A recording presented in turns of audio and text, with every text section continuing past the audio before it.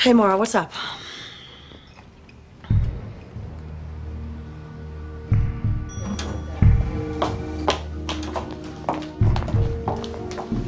I'm so sorry. Are you okay? Contusions and scrapes. I'm fine. Where's your mom? She's still in surgery. It's bad, Jane. They wouldn't let me in the ambulance with her. He just drove into her and then he left her. Oh, God.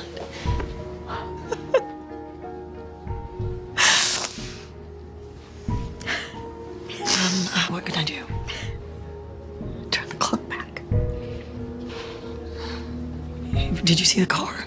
No, it all happened so fast. I, oh God, you know, I sound like all those people that we see every day, don't I? It's okay. She pushed me out of the way, Jane. My mother saved my life.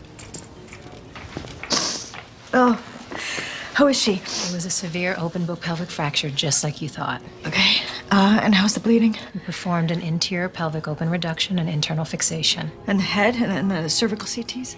There's some cranial bleeding. But we're doing all that we can, Dr. Isles. I know you are. Thank you, doctor. You're welcome. Just hold on.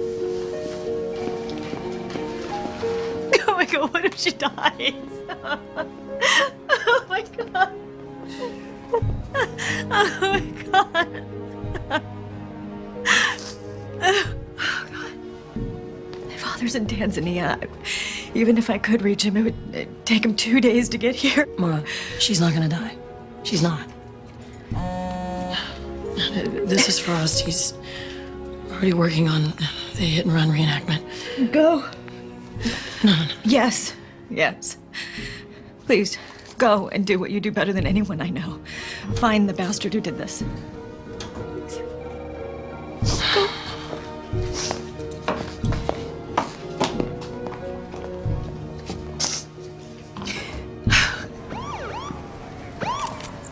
Who are you dressed as? A person, shut up. Nice to see you, too. I think you look great.